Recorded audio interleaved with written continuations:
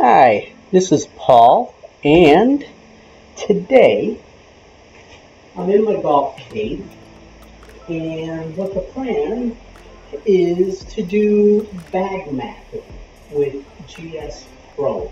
This is the beta version of GS Pro. Bag mapping is not available through the regular version, so if you do have GS Pro, make sure you download the beta version if you want to do what I'm about to Uh, bag mapping is basically going through each of your clubs that you have in your golf bag, hitting five shots with each, and then it will average the distance of each club. So, for instance, you might have a 9 iron at 118 yards, and then your 8 iron might be 134, and your 7 iron 150, that sort of thing you get to learn the distances between clubs, and better than that, possibly, you get to learn which clubs you may be uh, failing at.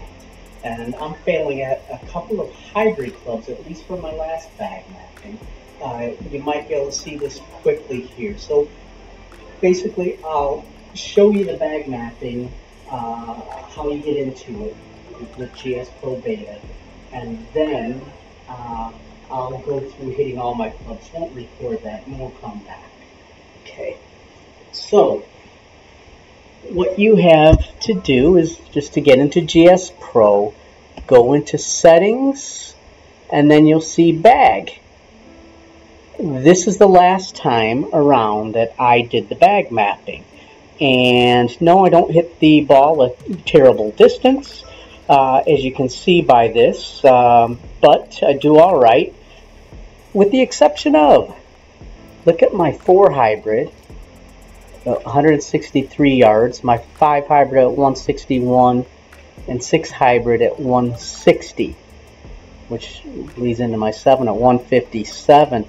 But, uh, you know, my 3 hybrids seem to do okay, but these clubs here with these uh, 4, 5, and 6 hybrid basically are going just about the same distance that's why I am going to do the bag mapping again. Uh, if you'd like, in GS Pro Beta, you can zero out each of these clubs. You can also click down here and change the club. For instance, if you don't carry a driver, but you carry a two wood, you can insert that here. So um, anyway, what I'm going to do is to click on start bag mapping. It's going to take, uh, eh, it might take about 15, 20 seconds or so uh, to bring it up. And then once you can see this, once the driving range is showing here, all I have to do is go over to Bag Mapper and click Begin. Now I'm starting with my lob wedge. I've got one out of five shots. If you hit a poor shot, you can delete the last shot uh, so long as you get it before you hit the next shot. So what I'm going to do is I have my lob wedge here and let's get the ball in place. We'll just hit one shot and then I'll stop the recording.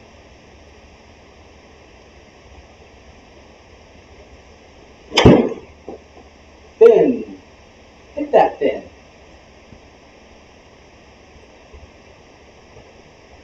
So I will delete that one and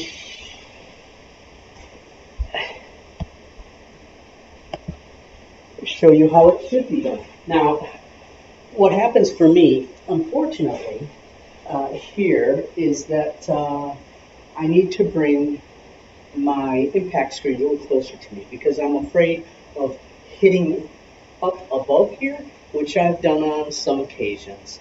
So I'm always wary about doing that, but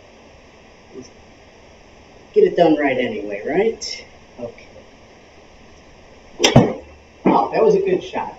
All right, so I typically hit this about 68 yards or so, give or take on average, 66. We're off and running. I'll stop the video now. We'll come back in a bit. All right, we're back again. I just hit my driver. Worn out. I did not allow enough time in between shots. Basically, hit a shot, pick up the ball, put it down, hit a shot.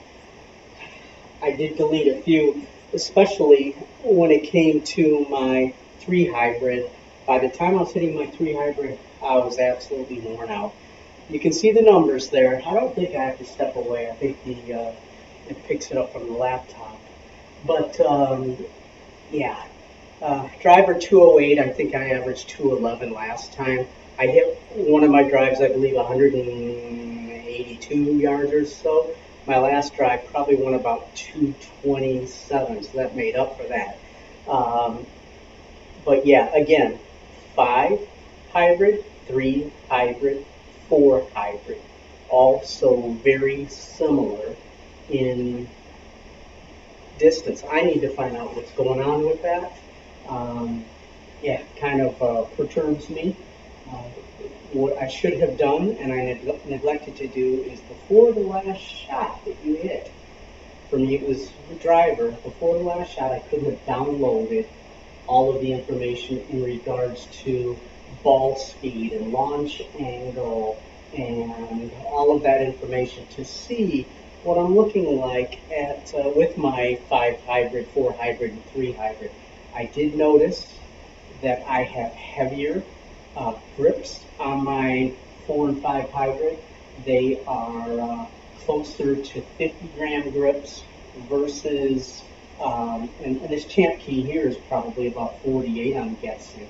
Uh, but I do have some clubs that I'm using golf pride on you may need to take that uh, four and five hybrid and take a look and put golf pride grips on, possibly because they're 25 gram grips. Yes, it'll change the club weight, uh, but uh, it may be what I have to do to get more distance out of those clubs. Anyway, I'm worn out, but I had fun. Thanks for joining me on my golf trip today. Appreciate it.